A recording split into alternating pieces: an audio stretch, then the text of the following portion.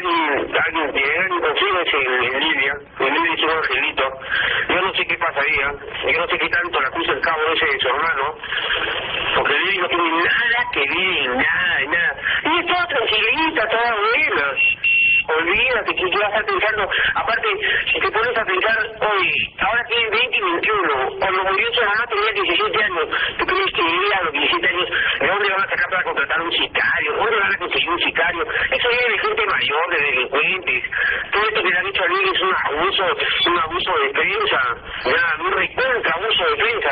A los 17 años, tú conversas con Lili, sabes que es un angelito, ¿qué vas a ver Lili de sicario, de matar gente y todas esas estupideces? No, yo, yo, yo, yo, de principio. O sea, yo tengo también sería de que Lili estaba pensando en matar a alguien. O sea, si estaría contando conmigo, que yo también lo hubiera pensado.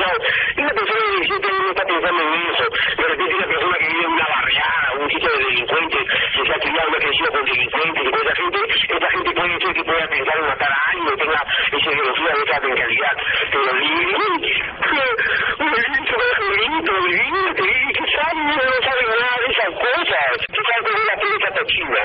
Que me la leí y muy acá, ¿ves? Y un día otro capítulo aquí, que me la leí. Esto ya tiene este, su noticia para todos los días, ya tiene para. O sea, por tu pasado.